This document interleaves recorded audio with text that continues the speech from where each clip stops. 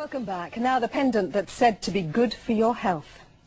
Its makers claim it can protect Londoners from electromagnetic radiation given out by machines in the office and the home, everything from computers and mobile phones to toasters and televisions. The result is said to be less fatigue and more energy.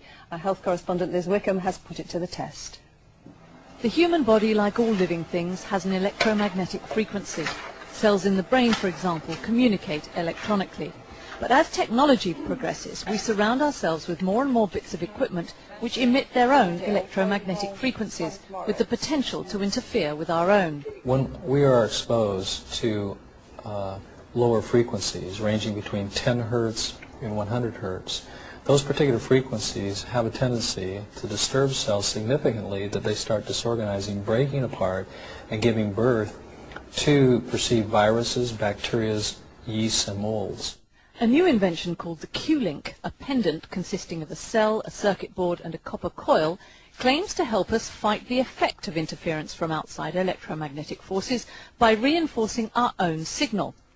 Cynical that such a small thing could make any difference, we commissioned Dr. Young to do a series of tests on two office workers and our VT editor, Jessie, who spends long hours completely surrounded by electronic gadgetry.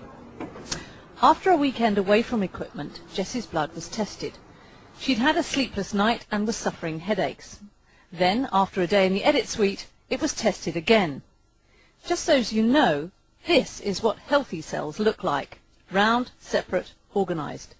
Jessie's weren't great to start with, but by the end of the day in the edit suite, they looked dreadful. The cell formations are highly damaged.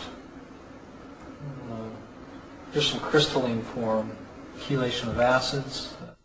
Similar effects were seen with the other girls. Then they were all issued with Q-links to wear for three days while continuing the normal working routine. After that, Dr. Young tested the blood again. The difference was remarkable. The cells were more organized, there was less yeast, less bacteria, and the white blood cells, the neutrophils, which are the major aspects of cellular uh, cleansing, uh, were active and mobile and moving throughout the bloodstream. Jessie had slept well all week and noticed other changes.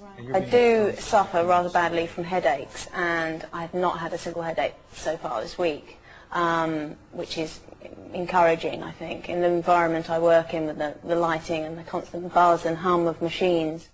This could be coincidence. Dr Young wants to do further research. In Southwark, this is Liz Wickham for London Today.